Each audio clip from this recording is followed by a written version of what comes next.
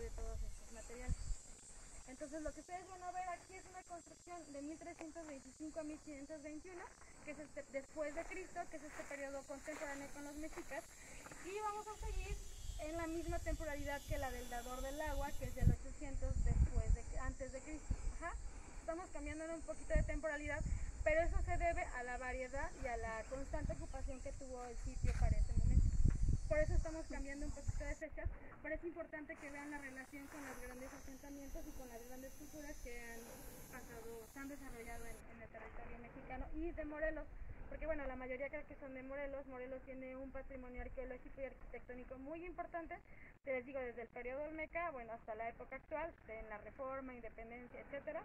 Entonces es importante que veamos que Morelos tiene un gran un gran patrimonio que, conocer. Entonces aquí en Chalcachingo pues se trata de ver esa variedad que, existe en, la ocupación de la zona. ¿Vamos a ir? Ay, no.